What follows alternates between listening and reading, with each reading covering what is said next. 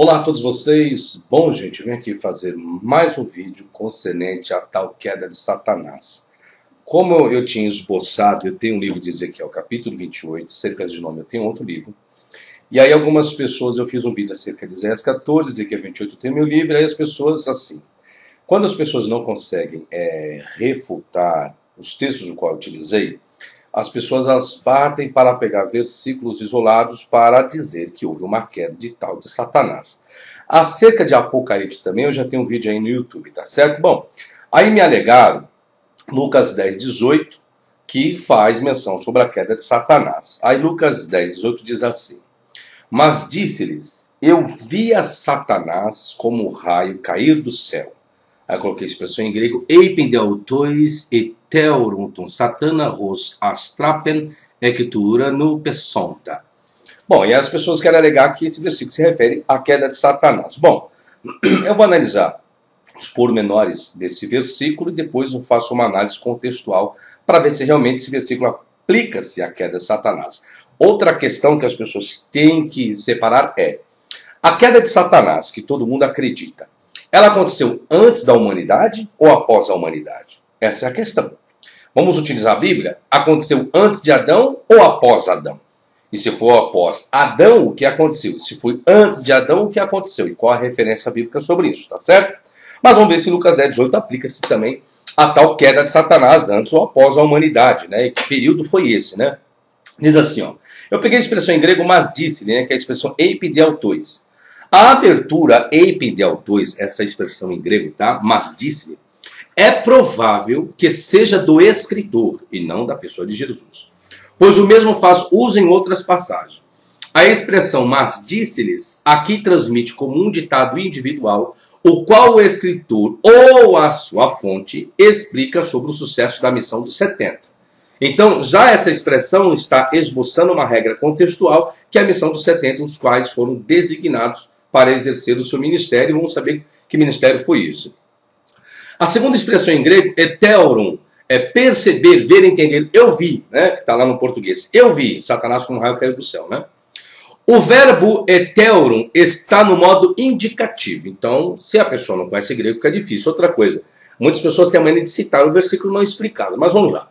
Então, o verbo já está no modo indicativo. Vou explicar isso para você. O que, que isso demonstra? Isso informa que a declaração pode ser verdadeiro ou não. Não quer dizer que a declaração é verdadeira. Pode ser ou não.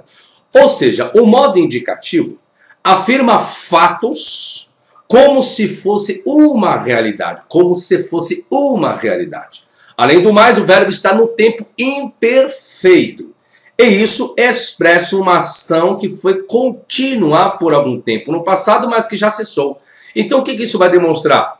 Eu vi, como se Jesus tivesse vindo de uma forma contínua. Ou seja, ele está caindo, está caindo, ah, caiu.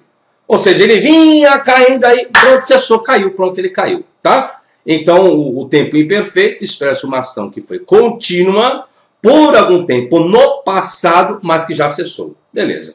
Satanás, o vocábulo, o escritor do Evangelho de Lucas, até agora, até esse texto, usou a expressão diabo, não usava Satanás, era diabo aqui no texto, nesse texto, nesse versículo. E no restante do evangelho, Satanás será a terminologia escolhida. Aí 11, 18, 13, 16, 22, 3 e 22, 31. Em Atos, ambos os termos são encontrados. Satanás, ou Satanás, ou Satanas, é uma forma helenizada do termo hebraico aramaico para adversário, utilizado, entre outros termos, como nome para o chefe dos poderes sobrenaturais do mal. Depois nós temos a expressão como raio, Ros Astrapen, a legião de Lucas 10, 18, que é uma transcrição de Lucas, está em um contexto que descreve exorcismos dos discípulos como testemunhas da derrubada de Satanás. Agora você vai entender o que é a queda de Satanás. Queda de Satanás do céu como um raio é, portanto, uma imagem de sua súbita perda inexorável do poder devido à chegada do reino de Deus na obra de Jesus e seus discípulos. Esse é o sentido da queda de Satanás aí no texto, tá? Bom, vamos pegar o, verbo, o vocábulo cair, que é pesonta. O verbo pesonta está no auristo e indica o sucesso dos 70. Então não tem nada a ver, ou seja, qual o contexto aí? Eu vou chegar nesse contexto, não tem nada a ver então, até aqui. queda de Satanás antes da humildade, de que ser mais do que Deus. Sobre isso aí, Isaías 14, eu fiz um vídeo. Aí você aquela querubim ungido, aquela história toda em Ezequiel 28. Então não sei de onde vocês vão alegar queda de Satanás. Se for para pegar, então uma coisa que ainda vai acontecer. Que ele cai a raça a terça parte das estrelas. É Apocalipse, eu tenho um vídeo aí no YouTube também, tá? O uso do particípio auristo para o verbo cair, persona, garante que a referência é para uma queda final e não uma inversão temporária. Vamos para a análise contextual. Aí qual é o contexto do versículo aí de Lucas? É o versículo primeiro, que é o início, versículo 17 e versículo 19, para vocês entenderem o raciocínio. Diz assim: E depois disso, designou o Senhor ainda outros setenta e mandou-os adiante de sua face de dois em dois, em todas as cidades e lugares aonde ele havia de, vir, de ir. Versículo 17. E voltaram os setenta com alegria, dizendo: Senhor, pelo teu nome até os demônios se nos sujeitam. Versículo 19. Aí vem o 18, né? Que eu via Satanás como raio do céu, aquela história toda. 19. Eis que vos dei poder para pisar serpentes e escorpiões e toda a força do inimigo, e nada vos fará dano algum. Bom, tem-se aqui uma imagem gráfica interpretando o que está acontecendo no ministério de Jesus ou dos seus discípulos. É no ministério dos discípulos. Tem-se um relato de uma experiência visionária por Jesus. Neste último caso, é uma visão do que já aconteceu do que está em processo de acontecer ou do que vai acontecer no futuro escatológico? São as perguntinhas que eu faço aí para vocês, tá? Os discípulos notam que os demônios tinham saído das pessoas pela autoridade de Jesus através deles.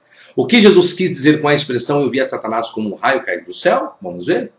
Jesus viu como em uma visão Satanás caindo do céu como um relâmpago, isto é, a partir de um lugar de poder durante o ministério desses discípulos. Ou seja, Satanás sofre uma derrota notável com esses discípulos que foram expulsar demônios. Portanto, o texto e contexto não estão se referindo a uma queda de Satanás antes da humanidade, e sim uma queda ou fracasso do seu poder no exercício dos discípulos. Esse é o contexto, não tem como correr disso. Tá? Não tem como correr desse contexto. Tanto que o versículo 19 deixa claro que Jesus tinha dado dedoca, o verbo indicativo perfeitativo, poder para esses discípulos sobre as forças do inimigo. É provável que o emparelhamento de cobras e escorpiões, que está no versículo 19, seja baseado em Deuteronômio 8,15, números tal, tal, tal, tal, para escorpiões reis, etc e tal. Com um pouco de mais confiança, pode-se sugerir que o pisar seja uma metáfora dependente de Salmo 91,3, onde a cobra venenosa pitão está entre as criaturas perigosas. Outra questão é que Jesus muitas vezes fez uso de uma linguagem figurada, embora tal linguagem foi frequentemente interpretada literalmente. Houve momentos de Jesus fazer uso de figuras de linguagem e essas figuras de linguagem foram interpretadas de forma literalmente. Na passagem imediatamente anterior, versículo 18, o Senhor usou linguagem simbólica quando ele falou de Satanás caindo do céu como relâmpago. Se em outros lugares Satanás é chamado de dragão e serpente, como Apocalipse 12. Por que deveria ser estranho se também aqui em Lucas 19 o domínio do príncipe do mal seja chamado de cobras e escorpiões? Uma pergunta que eu faço. Porém, tem que ser uma linguagem simbólica. Você está usando serpentes no plural, tá? E não serpente no singular para aplicar a Satanás. Não é intenção de Satanás para envenenar as mentes dos homens e transmitir o aguilhão da morte a todos que se opõem a ele? Pergunta que eu faço. Não há registro de qualquer cumprimento literal dessa afirmação. A verdadeira interpretação é igualmente corroborada pela expressão explicativa: eu vos dei autoridade sobre todo o poder do inimigo. Então, tudo citado uma figura de linguagem.